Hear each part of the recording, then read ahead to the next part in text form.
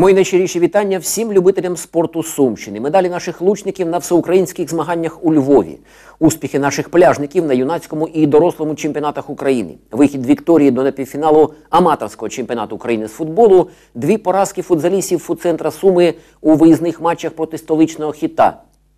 Несподіванки у матчах третього туру чемпіонату міста з міні-футболу. От про що і звичайно ж не лише про це піде мова у сьогоднішньому випуску програми Спорт Ревю, яка виходить за сприяння і інформаційної підтримки обласного управління молоді і спорту. Західна столиця України цими днями приймала чемпіонат України зі стрільби з лука серед вихованців шкіл вищої спортивної майстерності, спеціалізованих шкіл Олімпійського резерву, дитячо-юнацьких спортивних шкіл, училищ Олімпійського резерву і спортивних клубів різної форми власності і підпорядкування. Загалом участь у змаганнях взяло понад 80 чоловіків і майже півсотні жінок. Серед представниць кращої половини людства перемогу святкувала випускниця інституту фізкультури педуніверситету, заслужений майстер спорту, бронзова призерка європейських ігор в Баку 2015 року Анастасія Павлова. У вісімці кращих призерки Всесвітньої універсіади 2019 року в Неаполі випускниця інституту фізкультури Ірина Хочина, вона четверта, магістрантка цього університету, майстер спорту міжнародного класу Поліна Родіонова, яка посіла п'яте місце, і Євгенія Чібісова. У неї восьма позиція підсумкового протоколу. Останні двоє разом з сумчанкою Богданою Гапон вибороли друге місце у командних змаганнях. Серед чоловіків бронзовим призером став сумчанин, випускник СумДУ, майстер спорту міжнародного класу Олексій Гунбін. А випускник інституту фізкультури СумДепо імені Макаренка, срібний призер чемпіонату Європи 2019 року у командних змаганнях чоловіків Владислав Лісняк посів шосте місце. Сумська чоловіча команда у складі Олександра Малушина, Артема Овчинникова і Віктора Рубана зупинилася за крок до третьої сходинки п'єдесталу пошани. А випускники сумдиу, майстри спорту міжнародного класу Олексій Гунбін і Поліна Радіонова у міксті святкували перемогу. Двоє вихованок сумської динамівської хокейної школи Євгенія Кернос і Ольга Коровська, які декаду тому у складі хокейного клубу Мінськ здобули чемпіонські нагороди чемпіонату Білорусі, вигравши серію до трьох перемог у Гродненського ритма. 3-5 серпня у Барановичах виборювали Кубок Білорусі з хокею на траві серед жіночих команд. Квартет кращих клубних команд попереднього сезону за коловою системою визначав володаря почесного трофею. Так от Мінськ, за який грають Кернос і Коровська, виграв у місцевого текстильника 6-2 і один з м'ячів на рахунку Коровської. 4-3 переміг Гродненського ритма і сумчанки оформили по голу. А також з рахунком 3-1 взяв гору над Вікторією зі Смолевичів і дубль у активі Євгенії Кернос. Переведення Луцька з червоної до помаранчевої зони Державної комісії з питань техногенно-екологічної безпеки та надзвичайних ситуацій, а також дозвіл, наданий на проведення змагань депутатами Луцької міської ради під час позачергової сесії, запалили, образно кажучи, зелене світло для проведення в обласному центрі Волині 12-13 серпня чемпіонату України з легкоатлетики серед юніорів, а також 15-16 серпня командного чемпіонату України серед дорослих, у рамках якого відбудеться ще й чемпіонат України з бігу на 10 тисяч метрів доріжкою стадіону. Тож юніорська і доросла збірні легкоатлетів Сумщини вже точно вирішають до Луцька, де візьмуть участь у боротьбі за нагороди двох престижних змагань лицарів королеви спорту сезону 2020 року. Сесія Сумської обласної ради 6 серпня визначилася з призначенням директора обласного ліцею інтернату спортивного профілю Барса. Ним став колишній голова обласної організації фізкультурно-спортивного товариства Спартак колишній начальник управління молоді і спорту Сумської облдержадміністрації, тепер вже колишній директор Сумської кінноспортивної школи, чинний депутат Сумської обласної ради і голова обласної громадської ради з фізичної культури і спорту Олександр Стрельченко. Драматичне прийняття рішення відбулося з п'ятої спроби на двох поспіль засіданнях у чотирьох з яких Стрільченко, який виграв конкурс на цю посаду, не вистачало одного-двох голосів. У спробі номер 5 за те, щоб Олександр Юрійович став директором ліцею інтернату Барса, проголосувало 34 депутати обласної ради при мінімумі у 33 голоси. Чернігів цими днями приймав змагання чергового етапу чемпіонату України з пляжного волейболу. У жіночому турнірі сумська пара Дар'я Ковальова Марина Гладун, рухаючись турнірною сіткою, виграла у двох партіях у чернігівчанок Валерії Довгошапки Євгенії Дехтяр. Марини Попель, Світлани Шевченко з Маріуполя, Житомирсько-київської пари Анна Шумейко, Анастасія Нагорна. У напівфіналі у трьох сетах здолала спротив киянок Світлани Бабуриної, Діани Луніної і лише у фіналі поступилася 0-2 сестрам Інні і Ірині Махно з Києва. Наш чоловічий дует Євген Журавель Максим Гладун дійшов до напівфіналу, де поступився 0-2 майбутнім переможцям чернігівчанам Роману Середі Богдану Татаренку. А в матчі за третє місце у трьох сетах взяв гору над Млинівсько-київською парою Олег Покотило, Роман Волков. Минулої суботи у Запоріжжі завершився чемпіонат України з пляжного волейболу серед дівчат віком до 18 років.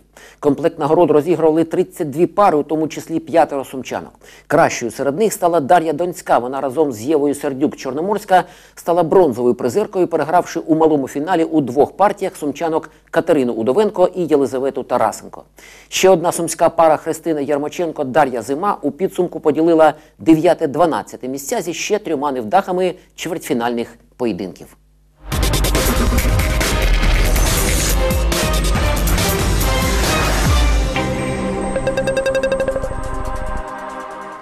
Два виїзні товариські матчі зі срібним призером чемпіонату України з футзалу сезону 2019-2020 столичним хітом зіграв цими днями футцентр Суми. У першому нищівний розгром 0-9, у другому поразка зі значно меншою різницею рахунку 0-4. Після київського вояжу команда Івана Скіцка з масою вражень і неабиякою мотивацією повернулася до Сум, де продовжує підготовку до сезону 2020-2021. Він, нагадаю, почнеться для сумчан виїзною зустрічю зі Львівською енергією 22 серпня. А перший домашній поєдинок фудцентр Суми проведе за тиждень, 29 серпня, приймаючи детрейдинг з Донеччини.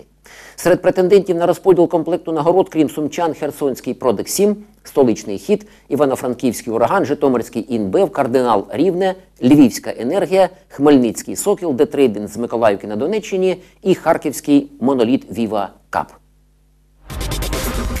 Ну, а тим часом набирає обертів процес визначення переможця і призерів відкритого чемпіонату обласного центру з міні-футболу під егідою Асоціації футзалу Сумщини. У другому турі сервіс Люкс зміцнив своє лідерство у вищій лізі розгромом колег по цеху з автомобіліста 8-1. А смачна кава виявилася удвічі результативнішою за суми обленерго 6-3. У зустрічі чинного чемпіона обласного центру Ощадбанка зі срібним призером літнього чемпіонату 2019 року Лекс ВСК Сумбуд банкіри тоді виграли вирішальний матч 5-4. Інтрига полягала у тому, а чи зможуть вони взяти три турнірні очки і зробити синхронний разом з сервіс люкс крок до чемпіонських нагород. Апріорі було зрозуміло, що психологічний тиск фатальної ймовірної помилки відчували обидва суперники. Втім, і Ощадбанк, і його помаранчево-чорний суперник у першому таймі демонстрували активний атакувальний міні-футбол, і у кількох моментах з грудей вже майже виривалося, а от вам і гол. Утім, так і не вирвалося аж до 25-ї хвилини, коли після кількох розвідок на межі голу Роману Прощенку вдалося таки вразити ворота Дениса Дерев'янка, закритого кількома гравцями як своєї команди, так і суперників. Після голу банкірів у роздягальні юристам на початку другої половини матчу відбулося взяття воріт, образно кажучи, на виході з тієї самої роздягальні. На 29-й хвилині Олексій Пархоменко, просуваючись вдовж воріт Костянтина Пітухова, відчув гольовий момент і не забарився з ударом. У подальшому обом командам вдалося створити кілька вкрай небезпечних моментів перед воротами одна одної, але жоден з них голом так і не завершився. Тож бойова нічия з обміном голами нічим не порадувала ані Ощадбанк, якому доведеться у наступних матчах надолужувати втрачене, наздоганяючи перевізників, ані Лекс ВСК Сумбуд, який чотирьох очок не дотягує до бронзової позиції.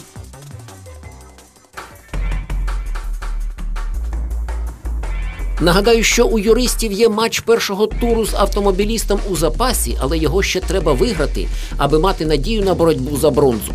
Тур третій не обіцяє бути вирішальним, і фаворити зустрічаються з командами, які теоретично не в змозі скласти їм гідної конкуренції. Ощадбанк не має права на помилку у зустрічі з автомобілістом. Сервіс Люкс повинен зупинити суми обленерго. А от середняки вищої ліги скуптимуть чуби один одному боротьбі за третю позицію турнірної таблиці. Цей матч безумовно стане центральним у третьому турі. Матчем Комсервіс Гранум команди першої ліги почали третій тур. Сніжківці, до речі, у заключному поєдинку туру другого зазнали поразки від Динамо 0-2, так що розповідати про їхнє неприховане бажання реабілітуватися за цю невдачу не варто. От є тільки одне але. Олексій Тюрін і компанія, незважаючи на чотириочкову відстань від технології після другого туру, не втратили мотивації поборотися з нею, нехай і теоретично, за перемогу за підсумками літнього чемпіонату у першій лізі. А відтак граному у цьому матчі, якщо й світило, то не вельми яскраво. Принаймні так вважала більшість мініфутбольних аналітиків, а от Гранум спробував було розчарувати песимістів і скептиків. І ви знаєте, вийшло. У дебюті зустрічі відзначилися Олександр Бокач і Олександр Благодарний, після чого чверть години комп'ютерники позбавлялися від наслідків шоку. Рівновагу на майданчик повернули Роман Король і Олексій Тюрін, а невдовзі Ілля Пустовойт запропонував граному відіграватися. І той завдяки голу Лемешева відігрався, підбивши підсумок першої половини матчу 3-3. Ледь почався другий тайм, як компсервіс вдруге виходить у лідери. Скупчення гравців перед воротами сніжківців ледь не обернулося для Гранума автоголом, а за секунду поздоровлення товаришів по команді приймав Олексій Тюрін, оформивши дубль. Завдання мінімум для комсервіса утримати мінімальну різницю у рахунку. Завдання максимум збільшити відрив. От з останнім виникли проблеми. У кількох моментах різниця у рахунку могла сягнути двох м'ячів, але біда оминала сніжківську команду. За пару хвилин до завершення матчу Граном вирішив пограти п'ятьма польовими, а раптом трапиться щось неймовірне. І таки трапилося. За 10 секунд до фінального свистка Артем Бугай гарматним пострілом перекреслив усі зусилля комсервіса дотягти до перемоги. 4-4. Щось багатенько нічиїх у цьогорічному літньому мініфутбольному чемпіонаті міста, і кожна з них ще більше загострює турнірну інтригу. Вчорашня зустріч Зіконі і Спартака завершилася розгромом останнього 9-2. Останнього не лише у контексті попереднього речення, а з огляду на безвихідь у турнірній таблиці. У двох заключних матчах сезону Спартак, зустрічаючись з Динамо і Граномом, навряд чи позбудеться статусу одноосібного аутсайдера. Технологія свій матч третього туру проти Динамо зіграє у середу, і за будь-яких варіантів конфігурація команд в турнірній таблиці не зміниться.